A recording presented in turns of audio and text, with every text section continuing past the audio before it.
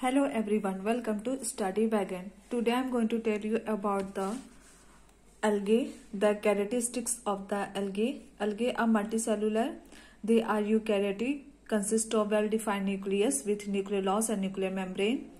They are uh, they consist of pigment. They're, that's why they are known as chlorophylls. The pigment which are present is known as chlorophyll A, B, C, xanthophyll.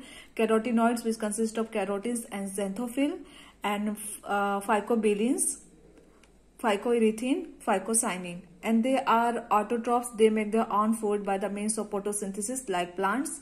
They consist of 90% oxygen content and they, they are found in lakes, rivers, that is they are aquatic, terrestrial and also attached to the substratum. Their, their reserve, reserve food material is starch. Their cell wall is made up of cellulose and lipid. Cellulose is a polysaccharide carbohydrate. They reproduce both by asexually and sexually.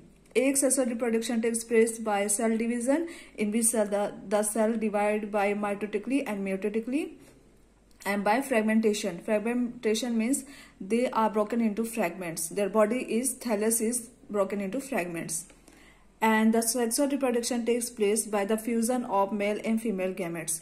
One more thing I am going to tell you which is very important.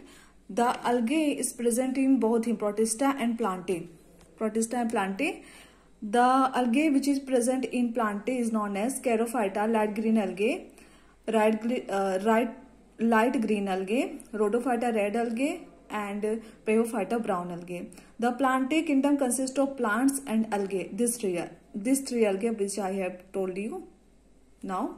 And the protista consists of algae and protozoa. The all the algae except the algae which are which I have uh, told in three algae which are uh, which I have told in Plantae except these three algae all the algae and the protozoa um, they are uh, protozoa are present uh, present in kingdom protista. Thank you